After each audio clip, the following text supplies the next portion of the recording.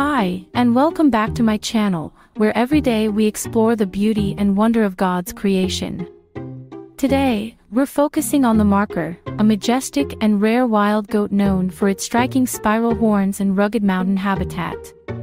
These remarkable creatures offer more than just aesthetic beauty, they provide us with valuable lessons about resilience, strength, and adaptation. Join me as we uncover the spiritual messages embodied in the existence of these noble animals. Markhor are known for their impressive horns and strong physique, symbolizing natural strength and majesty. Psalm 29 verse 11 says, The Lord gives strength to his people, the Lord blesses his people with peace. Like the strength of the markhor, this verse reminds us that true strength comes from the Lord, who provides us with both power and peace. These animals exhibit incredible sure-footedness in their mountainous terrain, teaching us the value of stability and confidence in life's difficult paths. Psalm 18 verse 33 says, He makes my feet like the feet of a deer. He causes me to stand on the heights. The sure-footed nature of Markhor encourages us to seek God's guidance for stability and confidence in navigating life's challenges. Inhabiting high altitudes, Markhor offer a lesson in seeking higher perspectives and elevating our thoughts. Colossians 3 verse 2 says, Set your minds on things above, not on earthly things. The elevated habitat of Markhor inspires us to lift our thoughts and perspectives above the mundane, focusing on spiritual and eternal values. As a rare species, Markhor remind us of the value of rarity and the importance of conservation and stewardship in God's creation. Genesis 2 verse 15 says, The Lord God took the man and put him in the Garden of Eden to work it and take care of it. The rarity of Markhor underscores our responsibility to protect and steward the diverse creatures and environments God has entrusted to us. Markhor exhibit a complex social structure, highlighting the importance of community and relationships in our lives.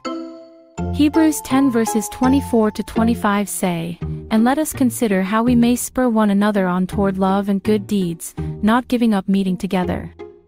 The social nature of Markhor inspires us to value our own communities, encouraging and supporting one another in faith and love.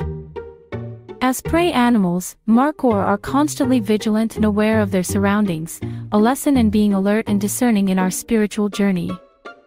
1 Peter 5 verse 8 says, Be alert and of sober mind. Your enemy the devil prowls around like a roaring lion looking for someone to devour. The vigilance of Markhor teaches us the importance of spiritual awareness and alertness to potential dangers. Finally, Markhor are selective about their diet, consuming specific vegetation, symbolizing the importance of discernment in what we consume spiritually. Matthew 4 verse 4 says, Jesus answered, It is written, Man shall not live on bread alone, but on every word that comes from the mouth of God. The dietary selectivity of Markhor encourages us to be discerning in our spiritual intake, focusing on the nourishing truth of God's Word. As we reflect on the lessons from the markhor, we are reminded of the extraordinary wisdom found in God's creation. These noble animals, with their strength, grace, and resilience, teach us about stability, community, and the importance of elevating our perspectives. May the qualities of the markhor inspire you to navigate life's rugged terrains with confidence, to engage meaningfully with your community, and to seek higher spiritual perspectives.